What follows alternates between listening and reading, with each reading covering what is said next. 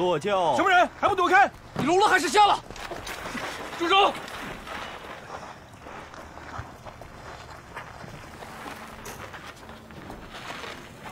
果然是你，周莹。赵大人，你这是要责罚民夫冒犯之罪吗？你就不想听我解释？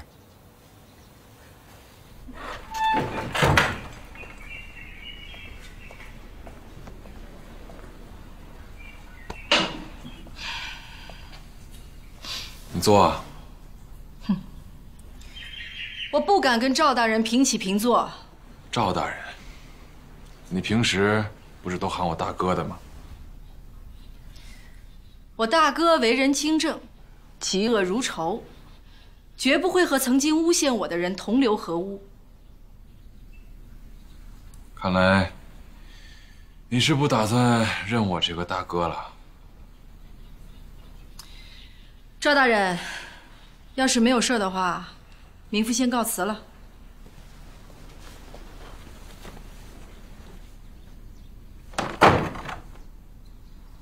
枉我一直敬你重你，没想到你竟是这样的人。我是哪样的人？为了荣华富贵，不顾正义，不顾廉耻。我若一心求荣，早几年就可平步青云，何必要等到现在？所有人骂我也就罢了，连你都不能相信我。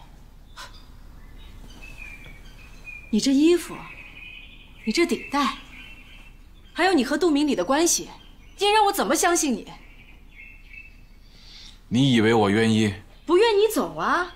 你没有腿吗？难道他们把刀架在你脖子上，逼你和他穿一条裤子？他们把刀架在你脖子上。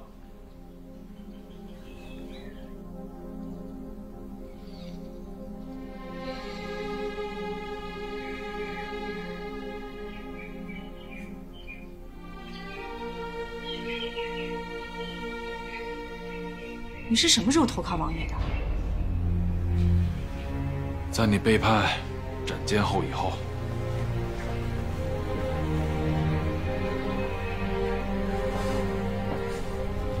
你，你是为了我？王爷手下武将多，商人多，文官少，在那个时候，我刚好送上门来。除了吴家的银子之外，王爷还多要了一样东西。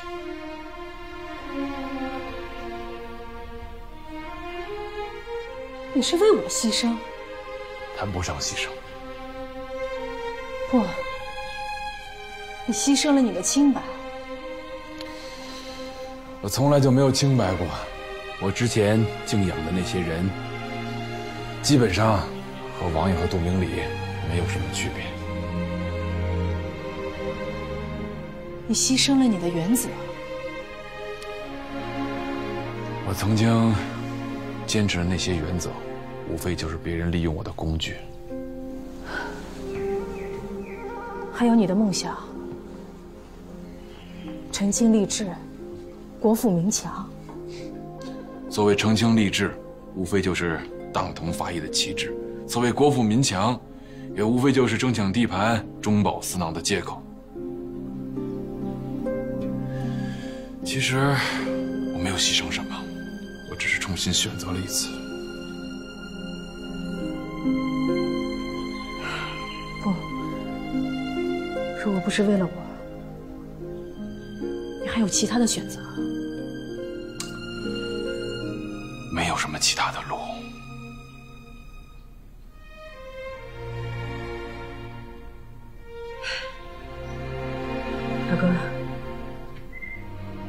天天和他们这些人周旋，一定很辛苦吧？哼，正相反，当我明白什么这个阵营、那个阵营都没有什么不同，只要进了这个染缸就无一幸免的时候，我就不再执着。不再那么痛苦，你知道吗？我现在帮王爷做事，可上心了。刘秉昌革职，李汉章开缺，还有那位大人的逝世，都是我的文章。王爷对我是非常欣赏。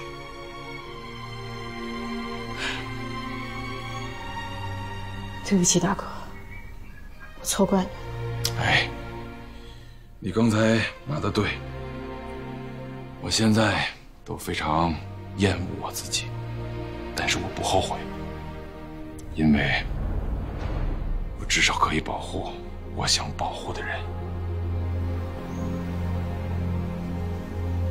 大哥，行了，别说我了，说说你吧。刚才你那样骂我，我倒觉得很欣慰。我突然觉得，那个横冲直撞、愣头愣脑的周莹又回来了。你最近怎么样？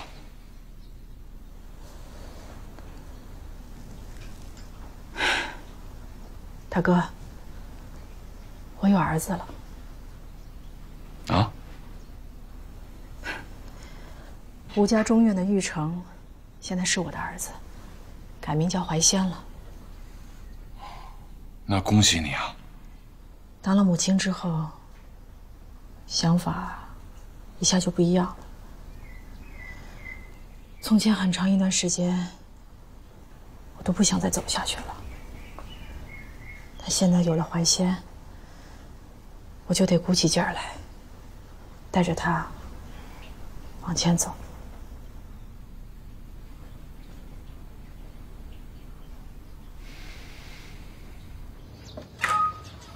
别送了，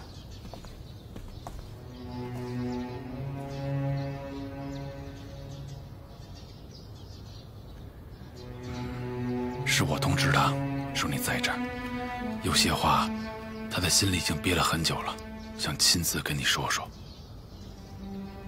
嫂子。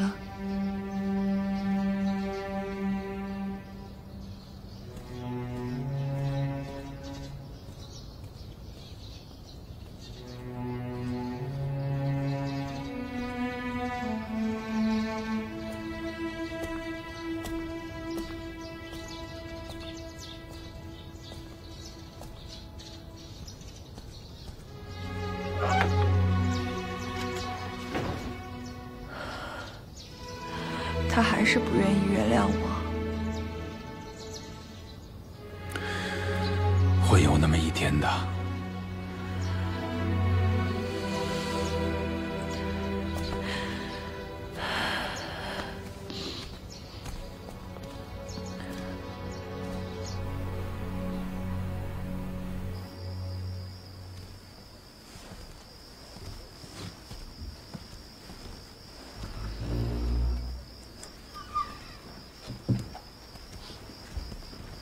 今儿倒是老实，也没打被子。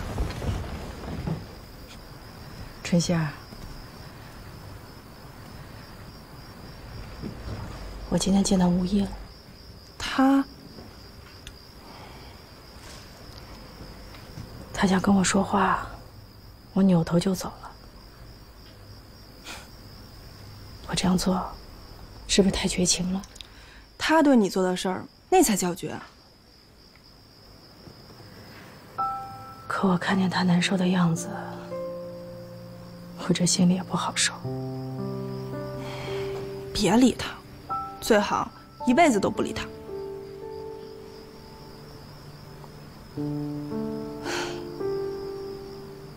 我刚嫁给吴聘的时候，她还是个小女孩。现在我当娘了，她也快当娘了。是吗？他什么时候生啊？应该快了。春仙儿，你会做小孩的衣裳不？会。你教教我。你。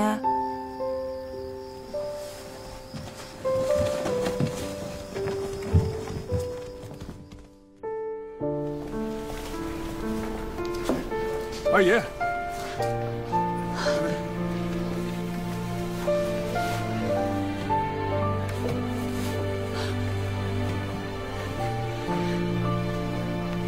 坐，坐呀。大夫，你继续啊。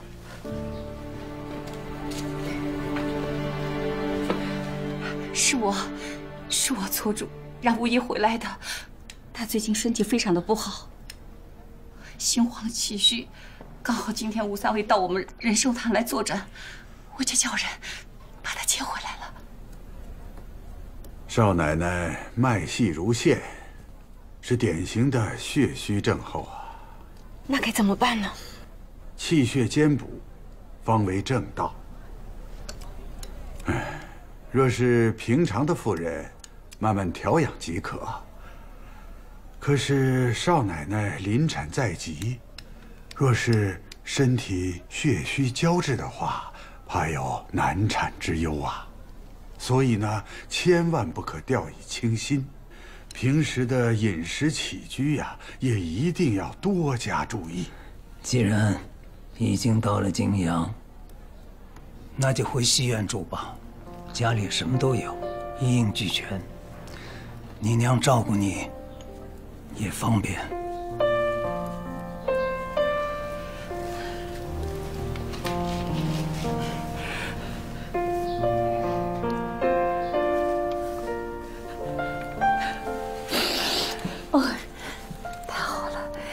好了。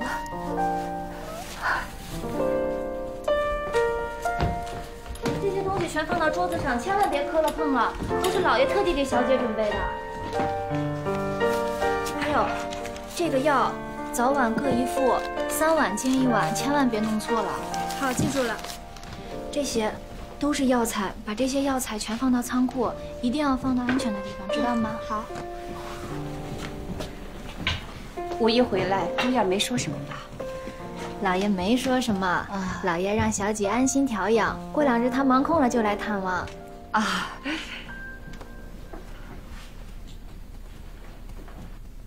娘，嗯，这谁做的？这是嫂子做的。周莹，对呀。听沈雪说，她熬了好几个晚上。给你亲手缝制的。你喝的汤药里面的当归，你爹说在仁寿他那，他说品相不好，派人到甘肃的岷县，给你买最好的当归。